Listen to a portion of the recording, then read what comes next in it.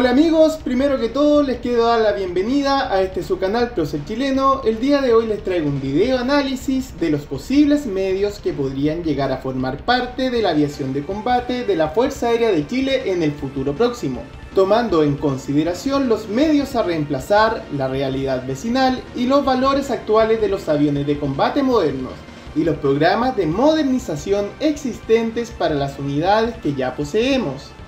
Para esto, y como es costumbre en nuestro canal, nos basaremos en fuentes serias y confiables para poder realizar nuestra hipótesis.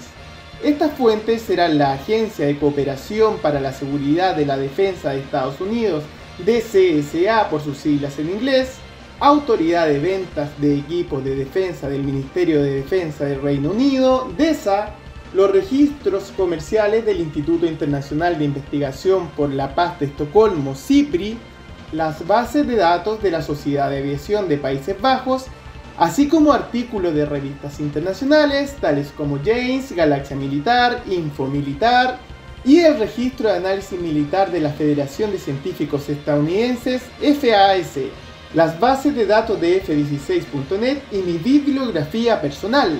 Espero que les guste. Para comenzar con este análisis, tenemos que considerar cuáles son los medios a reemplazar o modernizar según sea el caso. Debemos recordar que en la actualidad la Fuerza Aérea de Chile tiene en servicio principalmente tres tipos de aviones de combate.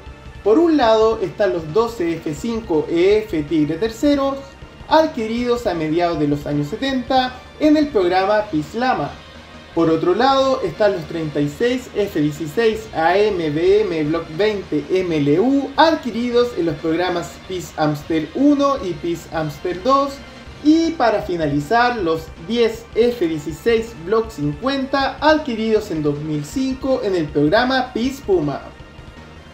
Como es lógico, los medios que más urge reemplazar son los veteranos F5, que acumulan 45 años de servicio, estos medios actualmente están emplazados en la base aérea de Chabunco, en el grupo aéreo número 12, con asiento en la ciudad de Punta Arenas. Estas unidades fueron sometidas a una completa reforma estructural en sus salas desde el año 2016, lo que les dejaría con un remanente de vida superior a los 10 años, por lo que es de esperar que puedan operar hasta cercano el año 2030. Los F-16 AMBM Block 20 MLU, por su parte, datan de inicio de los años 80. Durante su servicio en Países Bajos, fueron sometidos en el año 2003 al programa MLU. Los 18 primeros eran de la variante MLU Take 2. Estos se equiparían al grupo aéreo número 8 con base en Cerro Moreno, Antofagasta, como reemplazo de los Mirage 5 Elcan. Estos aviones serían sometidos a un programa de reforma estructural llamado Pacer Amstel, a cargo de la compañía holandesa de Adalus Aviation Group, mientras que los 18 segundos serían de la variante MLU Tape 4, que reemplazarían a los F5 del grupo aéreo número 7, que también tenían asiento en la ciudad de Antofagasta. Para finalizar, los F-16 Block 50 también están considerados en este análisis los que fueron entregados desde el año 2005. Estos son 6 monoplazas y 4 biplazas, siendo estos asignados al grupo aéreo número 3 con base en el aeropuerto Diego Aracena en Iquique. Estos fueron adquiridos totalmente nuevos al ser ganadores del programa Casa 2000. Ya conocidos los aviones de servicio en la FACH, nos abocaremos a analizar la realidad de las fuerzas aéreas de nuestros vecinos. Comenzaremos con Argentina.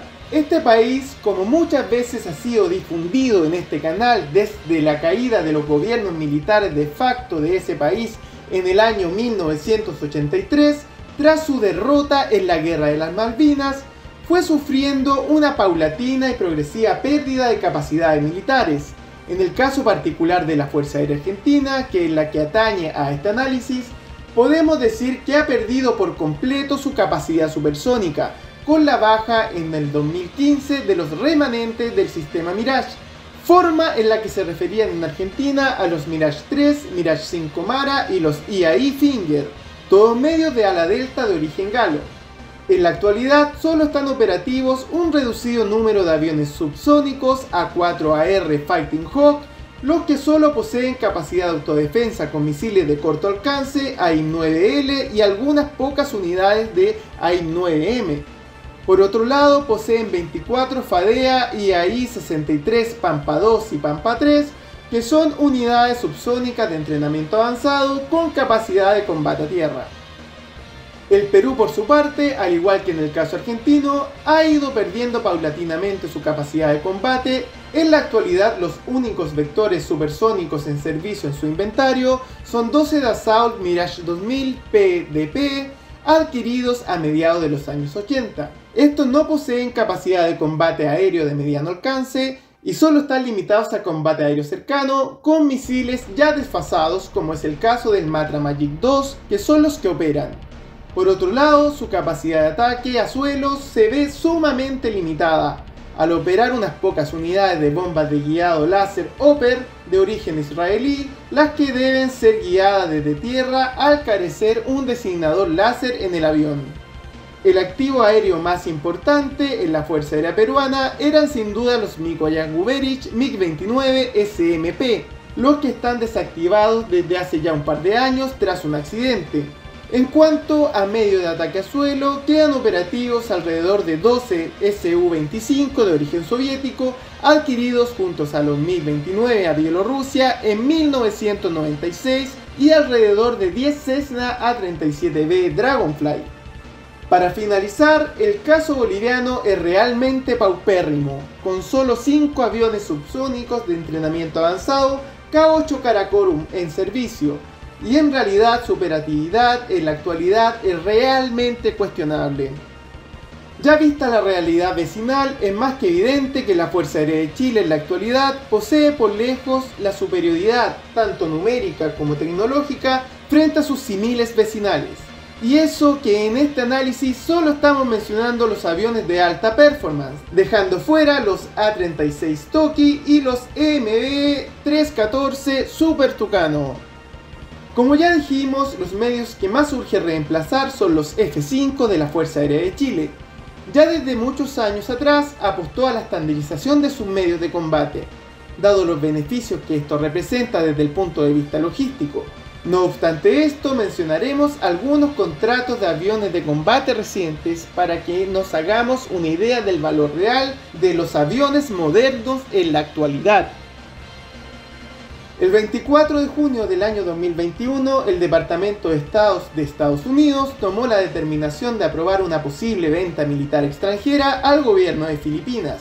Estos serían aviones F-16 Block 70 Block 72 y equipos relacionados por un costo estimado de 2.430 millones de dólares. Esta cifra es por dos aviones, con todo su equipamiento, pasando por el radar AESA AN-APG-83 24 misiles AIM-120C8 AMRAAM, cascos JHMCS-2, 48 lanzamisiles LAU-129, entre otros medios que podrán ser vistos en los enlaces dejados en la descripción. De esto podemos resumir que un F-16 Block 70 con un paquete modesto de armamento y equipos asociados ronda los 200 millones de dólares. Veamos otro ejemplo. El 3 de febrero del año 2022, el Departamento de Estado tomó la determinación de aprobar una posible venta militar extranjera al gobierno de Jordania por aeronaves F-16 Block 70 y sus equipos asociados por un costo de 4.210 millones de dólares. Esta cifra es por 16 aviones, 12 monoplazas y 4 biplazas. La descripción de este contrato igualmente estará en la descripción. Para explicar el mayor coste, les puedo resumir que poseen mayores equipos que los filipinos. Pero lo importante acá es que podemos inferir que el costo de un aparato de F-16 Block 70 totalmente equipado es de alrededor de 260 millones de dólares.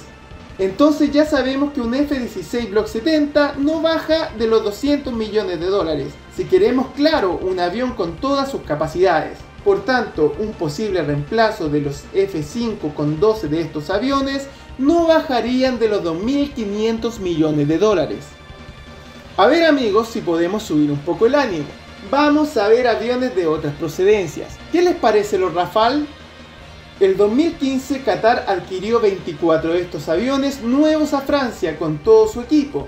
Esta adquisición suma un valor aproximado de 6.700 millones de euros, es decir, un valor de 280 millones por avión, poco más de 300 millones de dólares. Otro contrato por Rafale fue el firmado por la India en 2017 por 36 de estos aviones, los que incorporarían equipo de origen autóctono. El monto de la adquisición sería de 7.800 millones de euros, algo así como 8.700 millones de dólares, es decir, 235 millones de dólares por avión. Por cierto, estos datos los saqué de Cipri. No son ustedes amigos, pero yo ya quiero llorar. Pero sigamos viendo contratos. ¿Qué tal le parece los F-35? Pondré el ejemplo de Finlandia, que es un país no OTAN, igual que nosotros, quienes solicitaron en el año 2020 la compra por 64 F-35A y su equipo asociado. Primeramente se estimó el costo en 12.500 millones de dólares, pero finalmente quedó en 9.600, algo así como 150 millones de dólares por avión, pero obviamente este precio es por 64 unidades. Si el pedido es menor, naturalmente el precio también aumentará. Podemos concluir con estos datos que cualquier avión de combate moderno de 4.5 generación o quinta en su defecto, tomando el dato del F-35A, no baja de los 200 millones de dólares. Lo que tiene lógica tomando en consideración que nuestros F-16 Block 50 en el año 2005, es decir, hace 17 años atrás, nos costaron 66 millones de dólares cada uno y con un equipo asociado bastante modesto que se fue mejorando pasados los años, con nuevos contratos por armamento como los misiles AIM-120 C7 AMRAAM, que por cierto es el mejor misil aire-aire en servicio en Latinoamérica en la actualidad, y otros contratos también por bombas JDAM, con lo que podemos deducir que el costo real de nuestro Block 50 fue cercano a los 100 millones de dólares, insisto, hace ya 17 años atrás, con todo lo que implica en temas inflacionarios. En cuanto a la modernización de nuestros F-16, la opción lógica es la variante F-16V o Viper. Aquí tenemos el caso de Marruecos, a quienes según la DSSA por modernizar 23 F-16 CD Block 52 similares a nuestros F-16 sin reemplazo de motor en marzo del año 2019 tendría un costo aproximado de 983 millones de dólares, es decir 42 millones por avión, que en nuestro caso si modernizáramos digamos 42 F-16 los 10 Block 50 y 32 de la variante MLU tendrían un costo que rondaría los 1.800 millones de dólares y ciertamente nos daría una superioridad numérica y tecnológica abismal frente a nuestros vecinos. Si a eso le sumamos los no menos de 2.400 millones de dólares que costarían dos aviones nuevos, nos daría una cifra de 4.200 millones de dólares, por lo que la completa modernización de la flota de combate de nuestro país rondaría esa cifra. ¿Estaremos en condiciones de asumir una inversión de este tamaño? Porque si la defensa es una inversión, ante las condiciones políticas y económicas actuales, la verdad tengo muchas dudas amigos. Otras opciones que se han mencionado por algunos portales en la web en la actualidad son los Eurofighter Typhoon Tranche 1, de los que la Real Fuerza Aérea Británica se está deshaciendo, los que tendrían un interesante remanente de horas de vuelo. Estos a simple vista parecen una opción atractiva. No obstante, es sabido que estos aviones han presentado problemas a nivel electrónico en su radar, lo que significaría invertir en su modernización. Y por otro lado, hay que ver cuál sería el precio a pagar realmente porque tomando en consideración el último contrato español por 2.000 millones de euros por 20 Eurofighter Tranche 3, es decir, algo así como 220 millones de dólares por avión, esto nos llevaría a pensar que comprar, digamos, dos ejemplares usados británicos y su modernización tendría que tener un costo de aproximadamente 100 millones de dólares por unidad, por un avión que estaría totalmente aparte de la logística de nuestros más de 40 F-16 y con un aporte marginal a la disuasión, tomando en consideración la realidad vecinal. Todo lo anterior sin contar que posiblemente terminen estos aviones en otro país de la OTAN, porque como es sabido, todo este tipo de material remanente siempre es ofrecido a estos países antes de ser pasado a terceros mercados, como es lo que significa Chile. Lo más probable es que terminemos con una solución intermedia a lo expuesto anteriormente, no antes del año 2030. Incluso tomando en cuenta la realidad vecinal, es muy probable que los F-5 se vayan sin reemplazo, como con tantos aviones de combate ya ha ocurrido en el pasado. Bueno amigos, hasta acá con este video, espero que les haya gustado, no olviden darle like y suscribirse al canal si aún no lo han hecho, además de activar la campana de notificaciones para que se vayan enterando de las novedades de nuestra comunidad. También les recuerdo que tenemos un Instagram. Esto es todo de mi parte y como siempre nos despedimos con un cambio y fuera.